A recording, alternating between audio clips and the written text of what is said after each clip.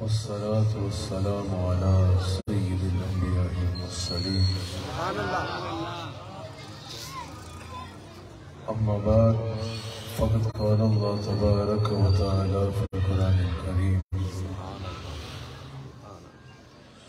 أعوذ بالله من الشيطان الرجيم. بسم الله الرحمن الرحيم. وما أرسلناك إلا رحمة للعالمين. قال رسول الله صلى الله عليه وآله وسلم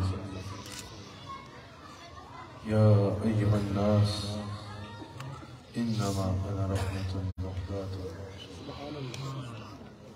صدق الله العظيم. وصدق رسوله النبي الكريم. سچا ہمارا مالک اور سچا ہمارا خالق۔ کے سوا اس واحد یکتا کی کوئی عبادت کے لائق نہیں۔ اور سچے ہیں اس کے پیارے حبیب۔ آپ کے اور میرے آقا مولا۔ رحمت للعالمین۔ خاتم النبیین۔ حضرت سیدنا و مولانا محمد رسول اللہ صلی اللہ علیہ وآلہ وسلم، کہ جن کے ذکر کی اس خوبصورت محفل میں میں اور آپ حاضر ہیں۔ الحمدللہ، کافی دیر سے یہاں حضور کی بارگاہ میں ہدایہ عقیدت پیش کیے جا رہے ہیں۔ سبحان اللہ سبحان اللہ۔ اللہ کریم سجانے والوں کو سجانے پر اور آپ آنے والوں کو آنے پر اجر عظیم عطا فرمائے۔ حضور علیہ السلام کا ذکر سننے کی خاطر، حضور کی شان سننے کی خاطر آپ یہاں جمع ہیں۔ اللہ تعالیٰ نے جو مقام ہمارے آقا علیہ السلام کو عطا فرمایا، وہ سب سے بلند ہے۔ میرے امام نے کہا نا کہ خلق سے اولیاء اولیاء سے رسول، سب رسولوں سے اعلیٰ ہمارا نبی۔ کرن و بدلی رسولوں کی ہوتی رہی، چاند بدلی کے نکلا ہمارے نبی۔ کیا خبر؟ کتنے تارے کھلے چھپ گئے، پر نہ ڈوبے، نہ ڈوبا ہمارا اللہ تعالیٰ نے ہمارے نبی علیہ السلام کو سب سے بلند مرتبہ اور سب سے بلند مقام عطا فرمایا ہے۔ حضور علیہ السلام کو اللہ تعالیٰ نے ہر اعتبار سے بے مثال بنایا ہے۔ ہر اعتبار سے ہمارے آقا علیہ السلام کو اللہ تعالیٰ نے ایسا بنایا ہے کہ حضور کی کوئی اور مثال نہیں ہے۔ حضور علیہ السلام کی شانوں کو جہاں اللہ تعالیٰ نے قرآن کریم میں جا بجا مختلف انداز میں بیان فرمایا، وہی ایک آیت میں نے آپ کے آگے جو تلاوت کی۔ مفسرین کہتے ہیں کہ یہ ہے تو ایک آیت، لیکن جس طرح معراج ویسے ایک واقعہ ہے، لیکن اس ایک واقعے میں حضور علیہ السلام کی عظمتوں کے اتنے پہلو ہیں کہ ایک معجزے میں قدم قدم پہ حضور علیہ السلام کے کئی معجزے ہیں۔ آپ سمجھ آ رہی ہیں نا معراج ویسے ایک معجزہ ہے۔ لیکن اس ایک معجزے میں حضور علیہ السلام کے کئی معجزے ہیں۔ کہاں اسی طرح اسی ایک آیت میں رسول اللہ علیہ السلام کی عظمتوں کا اتنا بیان موجود ہے کہ گویا کہ زندگیاں ختم ہو سکتی ہیں، حضور کی عظمتوں کے بیان کا حق ادا نہیں ہو سکتا۔ وما ارسلناک الا رحمت للعالمین اچھا اب اس کے آغاز میں اللہ تعالیٰ نے حضور علیہ السلام کی بے مثلیت کا بیان فرمایا ہے۔ مجھے آپ کی ایک ایک لفظ میں جو ہے وہ بھرپور توجہ درکار ہوگی۔ اللہ تعالیٰ نے فرمایا وما ارسلناک الا رحمت للعالمین اس میں شان رحمت سے پہلے یہاں پر غور کرنا ہے کہ اللہ تعالیٰ نے حضور علیہ السلام کی بے مثلیت کا بیان فرمایا ہے۔ اللہ تعالیٰ نے فرمایا، وما ارسلناک الا رحمت للعالمین یقینا سٹیج پہ علماء بھی جلوہ گر ہیں۔ علماء ماشاءاللہ آپ دیکھ رہے ہیں، جلوہ گر ہیں مشایخ بھی بیٹھے ہیں۔ اللہ تعالیٰ ان سب کا سایہ جو ہے وہ اہل سنت پر قائم رکھے۔ اللہ تعالیٰ ہر جو صحیح العقیدہ عالم ہیں، صحیح العقیدہ مشایخ ہیں، جو اہل سنت کے نظریات پر قائم ہیں اور لوگوں کو اس پر قائم رکھتے ہیں۔ اللہ تعالیٰ ان کا سایہ قادر جو ہے وہ اہل سنت و جماعت پر قائم و دائم رکھے۔ آپ نے میری بڑی بھرپور توجہ کے ساتھ گفتگو سنی ہے۔ اللہ نے فرمایا، وما ارسلناک الا رحمت للعالمین اب یہاں پر جو اللہ نے صرف یہ نہیں فرمایا کہ اے میرے حبیب علیہ السلام ہم نے آپ کو عالمین کے لیے رحمت بنا کر بھیجا۔ بلکہ فرمایا، وما ارسلنا کا نہیں بھیجا، مگر اس شان سے فرمایا کہ بھیجا کہ عالمین کے لیے رحمت بنا کر بھیجا۔ مفسرین کہتے ہیں، یہاں ماں نفی کے لیے ہے اور اللہ اس بات کے لیے ہے۔ فرمایا، وما ارسلنا کا اللہ پہلے پر نہیں بھیجا، مگر اس شان سے بھیجا کہ عالمین کے لیے رحمت بنا کر بھیجا۔ ماں نفی کے لیے ہے اور اللہ اس بات کے لیے ہے۔ مفسرین کہتے ہیں، جب بھی نفی کے بعد اس بات کا ذکر ہے نا، تو صرف یہ ثابت نہیں ہوتا کہ جس کا ذکر ہو رہا ہے وہ اس شان والا ہے، بلکہ یہ ثابت ہو رہا ہے کہ جس کا ذکر ہو رہا ہے، اس کے سوا یہ شان بھری کائنات میں کسی اور کو حاصل نہیں ہے۔ اگر آپ کو سمجھانے کے لیے اس کو آسان کریں، اگر کسی کو اللہ پہ ایمان لانا ہو، تو وہ خالی اللہ سے شروع کرتا ہے یا پہلے لا الہ کہتا ہے؟ جب وہ لا الہ الا اللہ کہتا ہے، نفی کے بعد پھر اس بات کا ذکر کرتا ہے، تو صرف یہ ثابت نہیں ہوتا کہ اس کا عقیدہ ہے کہ اللہ معبود ہے، بلکہ کیونکہ نفی کے بعد اس بات کا ذکر کر رہا ہے، اب یہ قاعدہ آپ کو سمجھنا ہے۔ جب نفی کے بعد اس بات کا ذکر آ رہا ہے، تو یہ ثابت ہو رہا ہے۔ اس کا صرف یہ عقیدہ نہیں ہے کہ اللہ معبود ہے، بلکہ اس کا یہ عقیدہ ہے کہ اللہ کے سوا کوئی معبود نہیں ہے۔ یار، ہم قربان نہ جائیں اپنے آقا پہ۔ ساری دنیا اس کا ذکر یوں کرے اور وہ ہمارے آقا کا ذکر یوں فرمائے۔ وما ارسلناکا الا رحمت للعالمین نبی کے بعد اس بات کا ذکر کر کے فرما رہا ہے، صرف یہ نہیں گویا کہ کہ ہم نے حبیب علیہ السلام کو رحمت بنایا، بلکہ جیسی رحمت، جیسی سلطنت، جیسی وسعت، جیسی کثرت ہم نے انہیں دی ہے، ایسی کثرت بھری خدائی میں کسی اور کو سے واضح ہو رہا ہے کہ حضور علیہ السلام کو اللہ تعالیٰ نے اس آغاز سے یہ ظاہر ہو رہا ہے کہ بے نظیر و بے مثال بنایا ہے۔ حضور علیہ السلام کو اللہ تعالیٰ نے ہر صفت میں بے مثال بنایا ہے۔ حضور کو صرف عظمتیں دی نہیں، بلکہ جتنی عظمتیں حضور کو دی، اتنی عظمتیں کسی اور کے پاس نہیں ہیں۔ وما ارسلناک الا رحمت للعالمین اچھا آپ کے سامنے اگر کوئی سے بات کرے کہ بھئی پناہ وزیر اعظم ہے کسی جگہ کا، آپ پوچھو بھئی کس ملک کا وزیر اعظم ہے؟ اس پوچھنے کا مقصد کیا ہوتا ہے؟ تاکہ جیسے ہی پوچھیں گے تو اس ملک کا نقشہ ذہن میں آ جائے۔ اس ملک کا نقشہ ذہن میں آ جائے۔ اور انسان یہ حساب لگا لے کہ اچھا اس ملک کی سرحدوں کے اندر اس کا حکم چلنا ہے۔ آپ کو کوئی کہے دے بھئی یہ کمشنر ہے۔ آپ پوچھے گا بھئی کس علاقے کا کمشنر ہے؟ اس کی وجہ یہ ہوگی کہ تاکہ جیسے ہی پتا چلے کہ یہ فلاں علاقے کا کمشنر ہے، آپ اس ضلع کی جو ہے وہ نقشے کو ذہن میں لے آئیں گے اور آپ سمجھ جائیں گے کہ اس کا حکم اس کے اندر اندر چلنا ہے۔ اس کے اندر اندر کوئی بھی کام اگر ہو، اگر کبھی بھی رحمت کی یا رحمت کی ضرورت ہو، دنیاوی یعنی یہ کام کرانے کی، تو پھر اس کمشنر کے پاس چلے جائیں گے۔ کیونکہ اس حدود کے اندر اس کا حکم چلنا ہے۔ اب اللہ نے فرمایا، وما ارسلنا الا رحمت للعالمین علماء بیٹھے ہیں، اس میں مبصری نے کہا راہم للعالمین اس سے مراد یہ ہے کہ حضور علیہ السلام عالمین پر رحم کرنے والے ہیں۔ عالمین کے لیے راہم ہیں، عالمین مرحوم ہیں اور حضور راہم ہیں۔ یعنی عالمین کے ذرے ذرے پہ اللہ کی جتنی رحمتیں ہونی ہیں، جتنی نعمتیں ہونی ہیں، جتنی عطائیں ہونی ہیں، جو کچھ اللہ نے عطا فرمانا ہے، وہ رحمت للعالمین کے دست مبارک سے عطا ہونا ہے۔ ان کے خوان کرم سے عطا ہونا ہے۔ پتہ چلا کہ یہ جو جو شان رحمت کا بیان ہو رہا ہے۔ یہ شان رحمت حضور علیہ السلام کی حاکمیت کا بھی اعلان ہے کہ اللہ کے خزانوں سے، اللہ کے رحمتوں سے جس کو جو ملنا ہے رحمت للعالمین کے ذریعے سے ملنا ہے۔ جتنی رحمتیں ملنی ہیں رحمت للعالمین سے ملنی ہے اب اگر ہم بتائیں کہ حضور کو اللہ نے راہم بنایا ہے، حضور کو اللہ نے حاکم بنایا ہے، حضور کو اللہ نے حجت اللہ علی العالمین بنایا ہے۔ عالمین حضور کے محتاج ہیں۔ آپ سوال کریں کہ بھئی بتاؤ حضور کی رحمت کہاں کہاں ہے؟ بتاؤ حضور کس کس کے لیے راہم ہے حضور علیہ السلام نے کس کس پر رحم کرنا ہے؟ کیونکہ رحم کا تو ہر کوئی محتاج ہے، ہر کوئی رحمت کا محتاج ہے۔ اب اگر حضور رحمت للعالمین ہے، تو جس جس کے لیے رحمت ہے، وہ وہ ان کا محتاج ہوگا۔ اب آپ پوچھیں گے بھی بتاؤ حضور کس کے لیے راہم ہے حضور کس کے لیے رحمت ہے تاکہ ہم اس نقشے کو ذہن میں لے آئے اور پھر ہم اندازہ لگائیں کہ ہمارے آقا کی سلطنت کہاں کہاں پر ہے، ہمارے آقا کا حکم کہاں کہاں چلنا ہے، ہمارے آقا کا راج کہاں کہاں ہے، ہمارے آقا کی ضرورت کس کس کو ہے؟ اگر آپ پوچھیں بھائی حضور کس کس کے لیے راہم ہے حضور کون سے ملک کے لیے راہم ہے حضور کون سے خطے کے لیے راہم ہے اللہ فرماتا ہے، وما ارسلناک الا رحمت للعالمین۔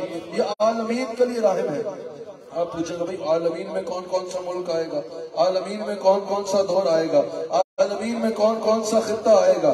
اب اس کو سمجھنے کے لیے دیکھنا ہوگا، الحمدللہ رب العالمین۔ اللہ تعالیٰ فرماتا ہے، تمام تعریف صلی اللہ کے لیے جو عالمین کا رب ہے، عالمین کو پالنے والا ہے۔ اب یہاں سے جہاں اللہ تعالیٰ کی بزرگی کا پتہ چلا، جہاں اللہ تعالیٰ کی ربوبیت کی شان کا پتہ چلا، وہی عالمین کی وسعتوں کا بھی پتہ چل گیا۔ سمجھ آئی؟ الحمد الحمدللہ رب العالمین سے یہ بھی پتہ چل گیا کہ عالمین میں کیا کیا آتا ہے۔ آسمان والے بولے وہ ہمارا بھی رب ہے۔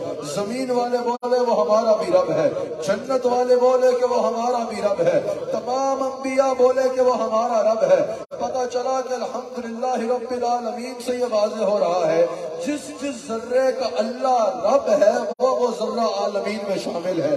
سمجھ آ گئی آپ کو؟ الحمدللہ رب العالمین سے عالمین کی وسعتوں کا پتہ چل رہا ہے۔ عالمین کتنے پھیلے ہوئے ہیں یہ پتہ چل رہا ہے کہ جس جس ذرے کا اللہ رب ہے، یہ عالم دنیا تو ایک عالم ہے نا، محدثین نے کہا اٹھارہ ہزار، یا اگر اس سے بھی زیادہ یا جتنے بھی عالمین ہیں یہ تو ایک عالم ہے نا، جتنے بھی عالمین ہیں، تمام عالمین میں جس جس ذرے کا اللہ رب ہے، وہ وہ ذرہ عالمین میں شامل ہے۔ تو کوئی ذرہ ایسا ہے ہی نہیں جس کا وہ رب نہ ہو۔ تو پتا چلا، کائنات میں کوئی ذرہ ایسا نہیں ہے جو عالمین میں شامل نہ ہو۔ صرف عالم دنیا نہیں، صرف انسان نہیں، صرف جن نہیں، صرف ملائکہ نہیں، اللہ جس جس کا رب ہے وہ وہ عالمین میں شامل ہے۔ آپ کو پتا چل گیا عالمین کی وسعتیں کتنی ہیں۔ ایک بار ہاتھ اٹھا کے بتاؤ۔ آپ کو پتا چل گیا عالمین کہاں کہاں پھیلے ہوئے ہیں۔ آپ کو پتا چل گیا عالمین کتنے پھیلے ہوئے ہیں؟ جب لوگوں کو صحیح سے سمجھ لگ گئی نا کہ عالمین کتنے پھیلے ہوئے ہیں، پھر اللہ نے حبیب کا تعارف کروایا۔ یہ جو تمہیں اتنی بڑی سلطنت نظر آ رہی ہے نا اس میں، وما ارسلناک الا رحمت للعالمین اس ساری سلطنت میں راہم یعنی گویا کہ سلطان میں مصطفیٰ علیہ السلام کا بنا کے بھیج رہا ہے خدا کی ساری خدائی کا سلطان، خدا کی ساری خدائی میں جو ہے، اب اگر حکم چلے گا، تو مصطفیٰ علیہ السلام کا چلے گا۔ ماشاءاللہ بھنکی شریف کے سجادہ تشریف حضرت تشریف لائے۔ میں دل کے عطا گہرائیوں سے حضرت کو خوش آمدید کہتا ہوں۔ اللہ تعالیٰ، حضرت کے جو اجداد ہیں، ان کے فیض میں مزید برکت عطا فرمائے۔ اور ان کے جو علم کی وراثت جو وہ چھوڑ کے گئے، جو پوری دنیا میں الحمدللہ ان کے علم کی وراثت موجود ہے۔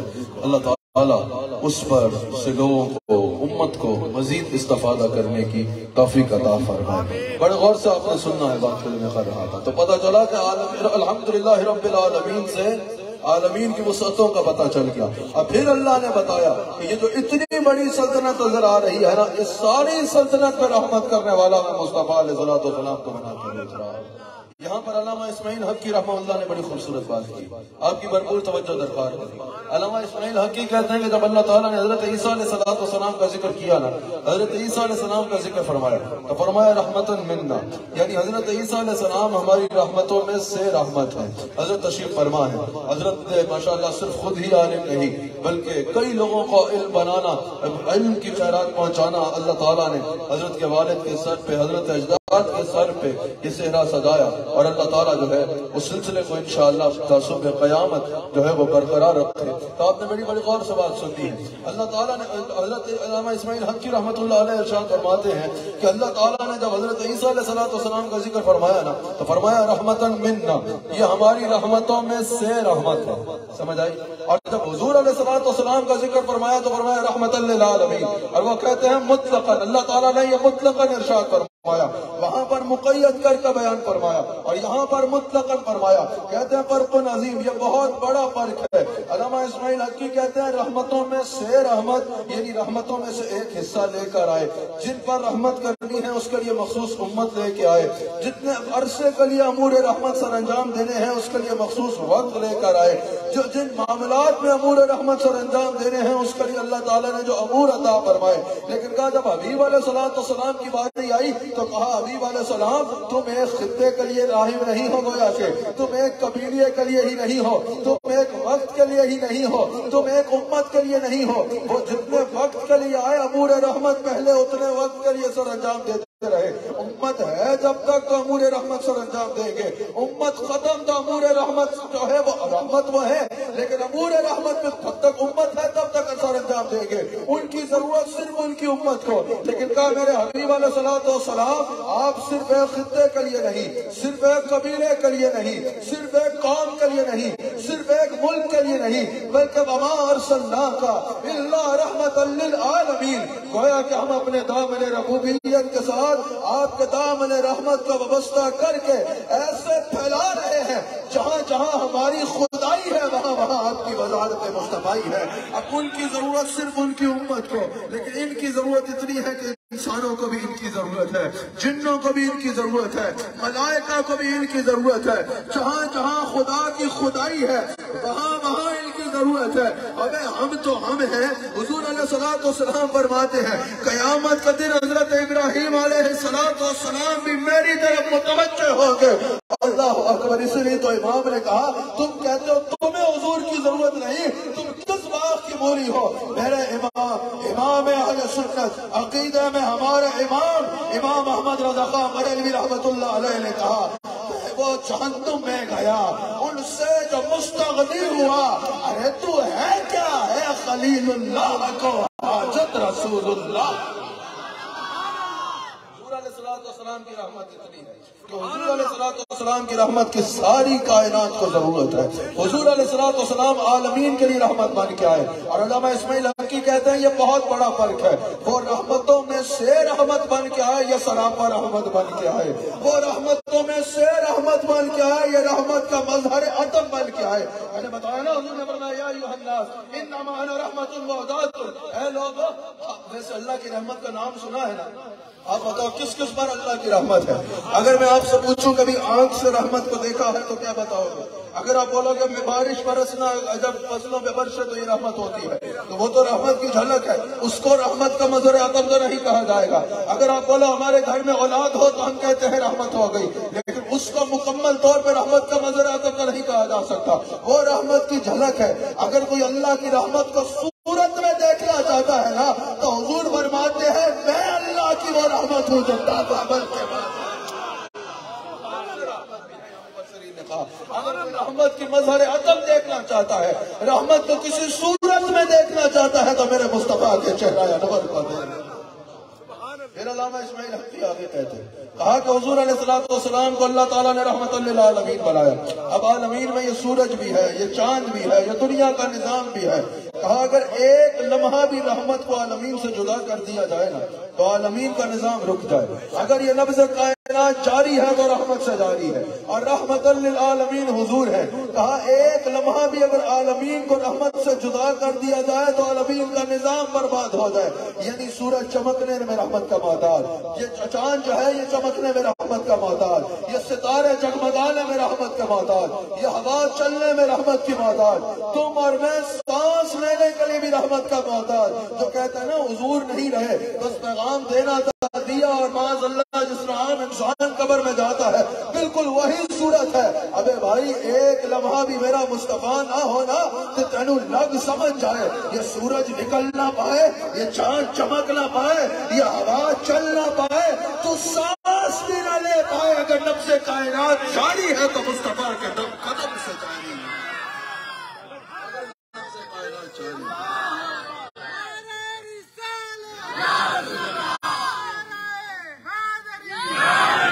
میرے بڑے غور سے بات سنیے گا۔ مجھے افتخار رضوی صاحب نے جو کہا ہے، اتنا وقت تو شاید میں نہ کر سکوں کیونکہ مجھے ابھی فیصلہ باد میں بھی دو جگہوں پہ خطاب کے لیے پہنچ رہا ہے۔ اور صبح رائے ونڈ میں پروگرام ہے۔ اور رائے ونڈ میں یا رسول اللہ کانفرنس ہے۔ تو صبح میں نے رائے ونڈ میں یا رسول اللہ کانفرنس سے بھی خطاب کرنا ہے۔ اس وجہ سے مجھے جو ہے وہ صرف پیغام کی حد تک بات کو رکھنا ہے۔ آپ نے میری بات پر بھرپور توجہ رکھ دی ہے۔ اللہ اکبر۔ وما ارسلنا کا الا رحمت للعالمین۔ اچھا یہ بتاؤ، اللہ رحمان ہے نا؟ ہاتھ اٹھا کے بتاؤ۔ لوگ کہتے ہیں ہاتھ جو جو اللہ کو مانتا ہے، ہاتھ اٹھائے حضور میں باندھتا ہے، ہاتھ یہ نہیں کہنا چاہیے۔ یہ معیار نہیں ہے کہ آپ کے کہنے پر کوئی ہاتھ اگر نہ اٹھائے تو اس بیچارے کا ایمان بھی ضائع ہو جائے گا۔ ایسی بات نہیں ہے۔ لیکن اس ہاتھ کو اس میں گواہ تو بنا سکتے ہو نا کہ قیامت کے دن یہ گواہی دے دے۔ اللہ رحمان ہے۔ قریب کیا کہا کہ ایک گناہ میرا ماں پیو ویکھے۔ میں نے دیوے دیس نکالا۔ لکھ گناہ میرا مولا ویکھے۔ پردے پاون والا مانگو میں تمہیں عطا فرما حضور فرماتے ہیں تمہارا رب کریم ہے اور حیا فرمانے والا حضور فرماتے ہیں تمہارے رب کو اس بات سے حیا آتی ہے کہ کوئی میرے دروازے پہ آئے اور میں اس سے خالی پھیر دوں اللہ جس کے لیے دعا کا دروازہ کھولتا ہے اس کے لیے قبولیت کا دروازہ بھی کھول دیتا ہے۔ اللہ رحمان ہے نا؟ اللہ کریم ہے نا؟ اللہ کتنا کریم ہے۔ کتنا کریم ہے اللہ۔ کتنا حضرت ابو راوی ہے صحابی حضور کی بارگاہ میں حاضر یا رسول اللہ یہ قیامت کے دن حساب کس نے لینا ہے؟ حضور نے فرمایا اللہ۔ رسول اللہ کس نے؟ حضور نے فرمایا اللہ۔ کہا یا رسول اللہ اگر اللہ حساب لے گا تو میں بخشا جاؤں گا بخشا جاؤں گا بخشا جاؤں گا۔ حضور نے فرمایا یہ کیسے کہہ رہے ہیں؟ کہا یا رسول اللہ آپ ہی تو فرماتے ہیں کہ وہ کریم ہے۔ جب کوئی کریم کے در پہ گر جائے نا تو پھر وہ معاف کر دیا کرتا ہے۔ اگر یعنی توبت نسوخہ کر لے اس کی بارگاہ میں معافی مانگ لے تو معاف دیا کرتا ہے۔ اگر اللہ حساب لے گا تو میں بخشا جاؤں گا۔ حضور نے فرمایا، اس کو دیکھو، یہ اپنے رب کا پہچان چڑھا۔ اللہ، کتنا کریم۔ لیکن اس کریم رب نے ہمیں آقا بھی ایسا دیا۔ جو رحمت اللہ العالمین۔ یہ پرچیوں بعد میں جمع کر لیجیے گا۔ اصل یہ جو ہوتا ہے نا، حضور کی بارگاہ میں حضوری ہوتی ہے، اس محفل میں۔ تاکہ سب کی توجہ رہ سکے۔ میں نے کہا کہ میں جتنا انہوں نے کہا، اتنا کلام کر بھی نہیں سکوں گا۔ جتنی دیر میں گفتگو کروں گا، مجھے نہ داد درکار ہے، نہ امداد درکار ہے۔ مجھے آپ کی بھرپور توجہ درکار ہے، تاکہ آپ کی میری بات جو ہے، وہ آپ کی سمجھ میں لگ پڑے۔ سفر ضائع نہ ہو۔ بڑے غور سے میری بات کو سنیے۔ گا اللہ اکبر۔ حضور علیہ الصلوۃ والسلام کی شان کو بیان فرماتے ہیں اب اللہ فرماتا ہے، وما ارسلنا برحمت للعالمین اللہ اللہ رحمان ہے، رحیم ہے، کریم ہے، اور اس کے اس کے کرم جیسا کسی کا کرم نہیں ہے۔ اس کی رحمت جیسی کسی کی رحمت نہیں ہے۔ ہم حضور کے پاس جو کچھ مانتے ہیں، وہ اللہ کا عطا کردہ مانتے ہیں۔ اللہ کے پاس جو کچھ ہے وہ ذاتی ہے اور حضور کے پاس جو کچھ ہے وہ اللہ تعالیٰ کا عطا کرتا ہے۔ تو تقابل کرنا یا بڑھانا تو معاذ اللہ دور کی بات ہے، اس کا تصور بھی نہیں کیا جا سکتا۔ حضور کے پاس جتنی رحمت ہے، حضور کے پاس جتنے خزانے ہیں، حضور کے پاس جتنے کمالات ہیں، وہ سب اللہ تعالیٰ کے عطا کرتا ہے یہ بات سن کے آپ اگلی بات کو سنیں۔ اللہ اکبر لیکن امام بزاوی بیزاوی رحمہ اللہ کہتے ہیں، اللہ کی رحمت میں رکت نہیں ہے۔ بے نیاز بادشاہ اللہ رقت سے بات ہے۔ اللہ روتا نہیں ہے۔ اللہ تڑپتا نہیں ہے۔ اللہ غمزدہ نہیں ہوتا۔ اللہ بے قرار نہیں ہوتا۔ اللہ کی رحمت میں رکت نہیں ہے۔ وہ رکت سے پاک ہے۔ لیکن کہا، ہم جیسے گناہگاروں کے لیے حضور کی رحمت میں شفقت اور محبت کی انتہا یہ ہے۔ امام بیزاوی کہتے ہیں، حضور کی رحمت میں ہمارے لیے رکت ہے۔ جیسے باپ بچے کو تکلیف میں دیکھے تو رو پڑتا ہے نا۔ اسی طرح اگر حضور اپنی امت کو تکلیف میں دیکھے تو امت کے لیے تڑپ کے رو کے اللہ کی بارگاہ میں ہاتھ اٹھایا کرتے ہیں۔ اس کی ایک سب سے بڑی دلیل رسول من انفسکم عزیز علیہ ما عنتم ہے۔ حریص علیکم بالمؤمنین رؤوف رحیم، آگے یہ سارے جو ہے، یہ اس کی دلیل ہے۔ اللہ تعالیٰ فرماتا ہے عزیز علیہ ما عنتم، میرے حبیب کے غلاموں، ہم نے تمہیں ایسا آقا دیا ہے کہ تمہارا تکلیف میں پڑنا ان پر گرا گزرتا ہے فریاد امتی جو کرے۔ حال ازار میں ممکن نہیں کہ خیر البشر کو خبر نہ ہو۔ ان کے سوا جہاں کوئی حامی نہیں رضا گزرا کرے پسر پہ پدر کو خبر نہ ہو حضور علیہ الصلوۃ کی رحمت میں رقت ہے۔ اور اس کو بیان کرتے ہوئے اللہ فرماتا نا، عزیز علیہ ما یعنی اسی سے مبصرین نے بتایا، اللہ نے جو فرمایا، عزیز علیہ ما اللہ فرماتا رسول اللہ کے غلاموں، گویا کہ تمہارے آقا تم سے اتنا پیار کرتے ہیں کہ عزیز علیہ ما تمہارا تکلیف میں پڑنا ان پر گرا گزرتا ہے یہاں امام جلال الدین سیوطی بھی فرماتے ہیں، اس کے لیے ضروری ہے کہ حضور ہر امتی کے حال سے واقف ہوں۔ اور حضور ہر امتی کے حال سے اتنا واقف ہے کہ حضور علیہ الصلوۃ والسلام کا کوئی غلام، گویا کہ اس مقام پہ ہو جہاں ہم بیٹھے ہیں، اور یہاں اس کے پاؤں میں کانٹا چبے اس کو خود بعد میں خبر ہوتی ہے، حضور کو اس کی خبر پہلے ہو جاتی ہے فرمایا حریص علیکم، یہ تمہیں، تمہارے لیے حریص ہے یعنی تمہیں جہنم سے نکالنے کے لیے اور جنت میں لے جانے کے لیے بے قرار رہتے ہیں۔ ایک معنی ہے دل نہ بھرنا۔ یعنی ان کا تمہیں دے دے کے گویا کہ دل نہیں بھرتا۔ اب یہاں پر مبصرین نے کہا کہ اس سے مراد یہ ہے کہ حضور کی رحمت میں تعطف ہے۔ بڑے غور سے سنیے گا۔ حضور کی رحمت میں تعطف ہے۔ یعنی حضور کو یہ عادت نہیں ہوتی میرا غلام مشکل میں پڑے، پھر میری بارگاہ میں ہاتھ پھیلائے، پھر میرا ترلا کرے، پھر اور مانگے، پھر اور مانگے، پھر دوں گا۔ حضور اپنے غلام پہ نظر رکھتے ہیں۔ میرے غلام کو مانگنے کی ضرورت نہ پڑے، پھر مانگے اپنے نوکروں کی چولی بھر دیا کرتے ہیں اب آپ اس کو دنیا کی تکلیفوں سے نہ جوڑیے گا۔ سب سے مشکل مقام قبر ہے۔ اللہ اکبر۔ ان کے سوا جہاں کوئی حامی نہیں رضا۔ گزرا کرے پسر پہ پدر کو خبر نہ ہو مرکت میں بندوں کو تفک کر میٹھی نیند سناتے یہ ہیں۔ اللہ اکبر۔ جب انسان قبر میں جائے گا، سب سے بڑی دل مانگے عطا کرنے کی عادت کی دلیل یہ ہے۔ جب انسان قبر میں جائے گا تو بتاؤ کیا حضور کو پیغام بھیجے گا، یا رسول اللہ، قبر میں دل گھبرا رہا ہے؟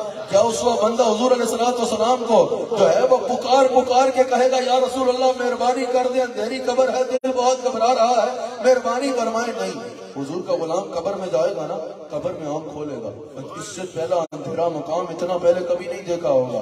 نہ اس سے اندھیرا مقام پہلے کبھی دیکھا ہوگا، نہ اس سے تنگ مکان پہلے کبھی دیکھا ہوگا۔ انسان اندھیری قبر دیکھ کے ابھی گھبرا ہی رہا ہوگا۔ دیکھے گا پیروں آنکھ کانوں سے جو ہے قدموں کی آہٹ سن رہا ہوگا کہ ماں، باپ، اولاد، جن کے لیے سب کچھ دوستوں کے لیے کرتے تھے، وہ قبرستان میں چھوڑ کے جا رہے ہیں۔ ابھی قبر میں دل گھبرا ہی رہا ہوگا کہ منکر نکیر آ جائیں گے ان کو دیکھ کے ان کے سوالوں کو دیکھ کے حضور کا غلام ابھی گھبرا رہا ہوگا۔ اتنے میں کیا ہوگا کہ قبر میں اجالا ہو جائے گا۔ انسان چہرہ دیکھے گا کہ رسول اللہ علیہ السلام قبر میں تشریف جلوہ گر ہے حضور کا چہرہ قبر میں جگمگا رہا ہے۔ رسول اللہ کا غلام گویا کہ تڑپ جائے گا۔ یا رسول اللہ صلی اللہ علیہ وآلہ وسلم، آپ مجھ قریب کی قبر میں، آپ اور مجھ اکیر کی قبر میں۔ یا رسول اللہ، ساری زندگی آپ سے محبت کرتا آیا۔ ساری زندگی آپ کی جستجو میں تڑپتا رہا۔ ساری زندگی آپ کے پیار میں گزار آیا۔ ساری زندگی آپ کے نغمے علاپتا رہا۔ ساری زندگی یا رسول اللہ، آپ کو راضی کرنے کے خواہش میں لگا رہا۔ یا رسول اللہ، ساری زندگی آپ کی یاد میں تڑپا۔ میں قبر میں آیا تو یا رسول اللہ، آپ میری قبر میں آ گئے۔ سرکار کبھی دنیا میں آتے نا تو اپنا گھر سجاتا۔ گھر کیا پورا محلہ سجا دیتا۔ محلہ کیا پورا شہر سجا دیتا۔ چلو قریب تھا نا، اپنا سب کچھ بیچنا بھی پڑتا تو بیچ کے۔ ایسا استقبال کرتا کہ دنیا دیکھتی محبوبہ کا استقبال کیسے ہوتا ہے۔ یا رسول اللہ آئے بھی تو قبر میں آئے۔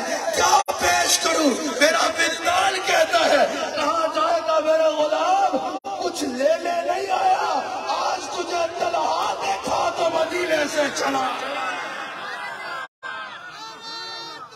قبر میں سرکار آئے۔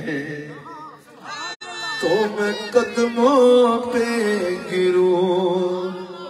کر فرشتے بھی اٹھائے۔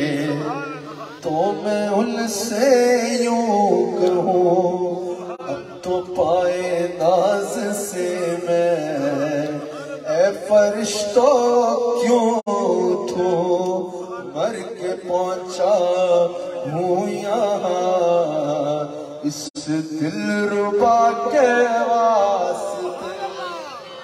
آخری دو باتیں سماعت کر لی وما ارسلنا الا رحمت للعالمین یہاں پر قاضی ثناء اللہ فاری بطی رحمہ اللہ.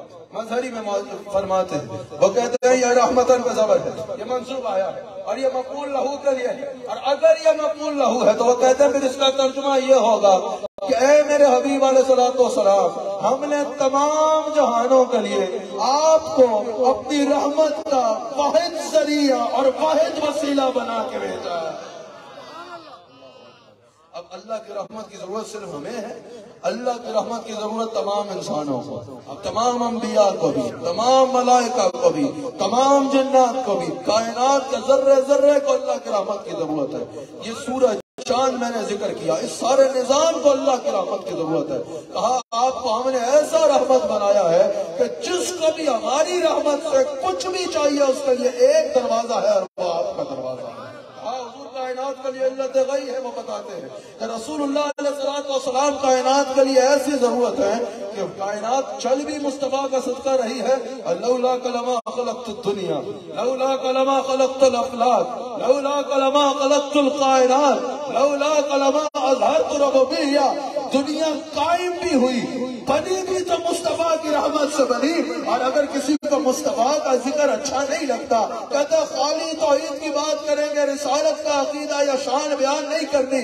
اللہ فرماتا ہے، لولا کلمہ اظہرت ربوبیہ گویا کہ ان کو بتا دیجیے، اگر آپ کو نہ بھیجتا نا، تو اپنے بارے میں، اپنے ہونے کے بارے میں بھی کسی کو بتاتا نہیں۔ اگر آج تم اللہ کو جانتے ہو نا، یہ بھی تمہارے پہ مصطفیٰ کی رحمت ہے کہ تمہیں اللہ کی آشنائی ملی۔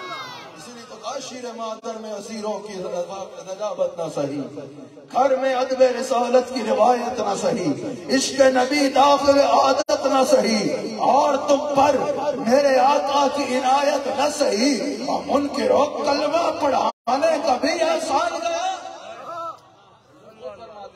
کائنات بنی بھی حضور گویا کہ حضور کی رحمت سے۔ یعنی کائنات بنی بھی حقیقتاً حضور کی رحمت سے۔ اور اگر یہ چل بھی رہا ہے، نظام تو رحمت مصطفیٰ سے چل رہا ہے۔ حضور فرماتے ہیں، انما انا قاسم واللہ یوتی حضور نے صرف یہ نہیں فرمایا، انا قاسم. فرمایا، انما انا قاسم. یہ انما کلمہ حسر ہے۔ اگر کوئی کہے کہ یہاں پر غلام مصطفیٰ نعت پڑے گا مطلب اور۔ اور اگر کوئی کہے، صرف غلام مصطفیٰ نعت پڑے گا مطلب اور۔ غلام مصطفیٰ قادری کراچی سے آئے، یہ نعت پڑھیں گے۔ اس کے بعد سوال ہو سکتا ہے، بعد میں بھی کوئی پڑھے گا یا نہیں پڑھے گا؟ لیکن اگر کوئی کہہ دے کہ اب صرف غلام مصطفیٰ نعت پڑھے گا، تو پتہ چل گیا، اب اس کی نعت ہوگی اور اس کے بعد نعت کسی نے نہیں پڑھنی۔ فرمایا، انما انا قاسم جیسے ہم صرف کہتے ہیں نا یہ انما کلمہ حسر ہے، حضور نے یہ نہیں فرمایا، میں تقسیم کرتا ہوں۔ کہ اللہ کے جتنے خزانے ہیں، صرف میں ہوں جو انہیں تقسیم کیا کرتا ہوں آخری بات میں نے کرنی ہے مبصرین کہتے ہیں، ایزار رحمت رحمت للعالمین رحمت للعالمین۔ اللہ اکبر، اللہ نے حضور کو صاحب رحمت بنا دیا۔ صرف رحمت کے خزانے رکھائے نہیں ہیں، حضور علیہ السلام کو صاحب رحمت بنا دیا۔ ایک ہوتا ہے کسی کو عہدہ دے دینا، آپ کو پتا ہے، ایسے بھی عہدے ہوتے ہیں کہ تمہیں عہدہ تو دے رہے ہیں لیکن اختیار تمہارا نہیں ہے۔ یہ بات نہیں ہے۔ حضور کو اللہ نے رحمت کے خزانے بھی دیے اور پھر اختیار بھی عطا فرمایا۔ ابھی بھی جب چاہو میرے خزانوں سے، جسے چاہو، جو چاہو، عطا آپ کو سمجھانے کے لیے ایک مثال میں نے پچھلے دنوں بھی بتائی۔ آپ کو سمجھانے کے لیے۔ یہ مائک اس وقت میرے استعمال میں ہے نا۔ اور یہ تصویر بھی اس وقت میرے پاس ہے۔ یہ مائک میرے پاس ہے۔ یہ تسبیح بھی میرے پاس ہے۔ لیکن فرق یہ ہے، یہ دینے کا اختیار ہے۔ یہ دینے کا اختیار نہیں ہے۔ ابھی اگر میں یہ تسبیح چاہوں تو مجمع سے کسی کو بھی بلا کے دے دوں۔ جس کو چاہوں یہ تسبیح دے دوں۔ نہ مجھے کسی سے پوچھنے کی ضرورت ہے، نہ مجھے کسی کی اجازت کی ضرورت ہے۔ لیکن اگر میں ابھی آپ میں سے کسی کو بلاؤں اور یہ مائک آپ کو تحفے میں دے دوں، فوراً مائک والا آئے گا، بولے گا، بھائی، تمہیں تقریر کے لیے دیا ہے۔ تقریر کرو اور مائک واپس کرو۔ تمہیں آگے دینے کا اختیار نہیں۔ یہ وجہ فرق کیا ہے؟ یہ بھی میرے پاس ہے اور یہ بھی میرے پاس ہے۔ یہ دینے کا اختیار نہیں، لیکن یہ دینے کا اختیار ہے۔ وجہ یہ ہے کہ یہ مجھے ادھارا دیا گیا ہے۔ تھوڑے وقت کے لیے دیا گیا ہے۔ میں ہٹوں گا، میری جگہ کوئی اور آ جائے گا۔ لیکن یہ میرے پاس ہے اور اس کا مجھے مالک بنایا گیا ہے۔ اس کا مالک ہوں۔ مجھے یہ کسی کو دینے کے لیے کسی کی اجازت ضرورت نہیں۔ اللہ نے حضور کے پاس رحمت کے خزانے ایسے نہیں رکھا ہے کہ ابھی پوچھ کے دے دینا یا جس کو کہے اس کو دے دینا۔ اللہ نے اختیار عطا فرمایا۔ میرے حبیب اپنے سارے خزانوں کے منہ تمہارے آگے کھول چکا ہوں۔ جب چاہو، جسے چاہو، جتنا چاہو، دیتے چلے جاؤ، نہ کوئی روکنے والا ہے، نہ کوئی ٹوکنے والا۔ اللہ اکبر مانگیں گے مانگے جائیں گے۔ منہ مانگی پائیں گے سرکار میں نہ لا ہے، نہ حاجت اگر کی ہے۔ منگتا کا ہاتھ اٹھتے ہی داتا کی دیر تھی۔ دوری قبول و عرض میں بس ہاتھ بھر کی ہے۔ حاکم حکیم داد و دبا دیں یا کچھ نہ دیں۔ او مردود، یہ مراد کس آیت خبر کی ہے؟ دے ان کے واسطے کہ خدا کچھ عطا کرے۔ حاشا غلط غلط یہ حوث بے بسر کی ہے۔ ان پر درود جن کو شجر تک کرے سلام۔ ان پر سلام جن کو تحیت شجر کی ہے۔ ان پر درود جن کو کسے بے کساں کہے ان پر سلام جن کو خبر بے خبر کی ہے۔ جنوں بشر سلام کو حاضر ہے، السلام۔ یہ بارگاہ مالک جنوں بشر کی ہے، سب خوش کو تر سلام کو حاضر ہے، السلام۔ یہ بارگاہ مالک ہر خوش کو تر کی ہے، سب تر پر سلام کو حاضر ہے، السلام۔ جو یہی کی خاک پہ ہر کر پر کی ہے۔ شورید اثر سلام کو حاضر ہے۔ السلام۔ خوبی انہی کی جوت سے شورید اثر کی ہے۔ اللہ اکبر شمس و قبر سلام کو حاضر ہے۔ السلام۔ مولا علی نے واری تیری نیند پر نواز۔ وہ بھی اثر جو اعلیٰ خطر کی ہے۔ ثابت ہوا کہ جملہ برا اس عروع ہے۔ اصل الاصول بندگی استاج ور کی ہے۔ اف بے حیائیاں کہ یہ موہر آپ کے حضور ہاں آپ کریم ہیں، آپ کی خود ہر گزر کی ہے۔ آپ سے چھپاؤں، منہ تو کروں کس کے سامنے؟ کیا اور بھی کسی سے توقع نظر کی ہے؟ چاہوں کہاں؟ پکاروں کسے؟ کس کا منہ تکوں؟ کیا کرسش اور چھا بھی سگے بے ہنر کی ہے؟ لبوا ہے آنکھیں بند ہے پھیلی ہے چولیاں کتنے مزے کی بھیک تیرے پاک در کی ہے۔ کتنے اتنا عجب بلندی ہے چھنڈت پہ کس لیے؟ دیکھا نہیں کہ بھیک وہ کس اونچے در کی ہے۔ شربت نہ دے نہ دے تو کرے بات لطف سے۔ یہ شہد ہو تو پھر کسے پرواہ شکر کی ہے۔ چھجنت نہ دے نہ دے تیری رویت ہو خیر سے۔ اس گل کے آگے کس کو حوض کر تو بھر کی ہے۔ سب کی وہ دیکھ شفاعت کی دے ہوا، یہ آبرو رضا تیرے دامان تر کی ہے۔ اللہ تعالیٰ اس محفل کو اپنی بارگاہ میں قبول فرمائے۔ آپ سب کو یہاں پر آنے پر عجر عظیم عطا فرمائے۔ یاد رکھنا چاند جاتی ہے چلی جائے۔ میری طرف دیکھو چاند جاتی ہے چلی جائے۔ اہل سنت کا عقیدہ نہ چھوڑ۔ اہل سنت کے عقیدے پہ قائم رہنا۔ اہل سنت کے عقیدے پہ قائم رہنے میں ہی دنیا کی بھلائی ہے۔ اہل سنت کے عقیدہ پہ قائم رہنے پہ ہی آخرت کی بھلائی ہے اور اہل سنت کا عقیدہ وہی ہے جس کو امام ابو منصور ماتوریدی نے بیان کر دیا جس کو امام ربانی مجدد الفسانی شیخ احمد سرحندی فاروقی رحمت اللہ علیہ نے بیان کر دیا اور اہل سنت کا عقیدہ ایک ایک حرف پہ ہمارا اس میں قائم ہے۔ جو امام امام اہل سنت، میرے امام، میرے سر کا تاج عقیدے میں ہمارے امام، ہمارے پیشوا ہمارے رہبر و رہنما، عقیدے میں ہمارے قائد، امام اہل سنت، امام احمد رضا خان بریلوی رحمت اللہ علیہ نے واضح کر دیا۔ اس عقیدے کے ساتھ جڑے رہنا، آپ چاہے حضور کے بارے میں عقیدہ ہو، چاہے اہل بیت اطہار کے بارے میں عقیدہ ہو، چاہے صحابہ اکرام کے بارے میں عقیدہ ہو، امام احمد رضا خان کے عقیدے میں قائم رہنا۔ اہل سنت کا ہے بیڑا، اہل سنت کا ہے بیڑا، بلکہ ہم بتاتے ہیں صرف اونلی اہل سنت کا ہے بیڑا۔ پار اصحاب حضور، نجم ہے اور ناؤ ہے۔ اطرت رسول اللہ کی۔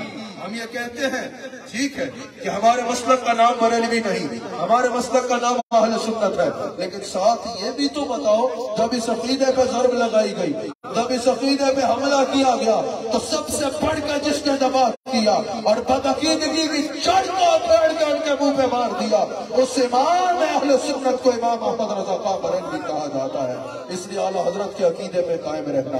اعلیٰ حضرت کا عقیدہ پڑھ لو، اس کو یاد کر لو اور اس عقیدے پہ قائم رہو۔ اگر میں ہٹ جاؤں تو میری بات معتبر نہیں۔ اعلیٰ حضرت نے جو بیان کر دیا، امام ربانی نے جو بیان کر دیا، یہ بتانا اس لیے ضروری ہے۔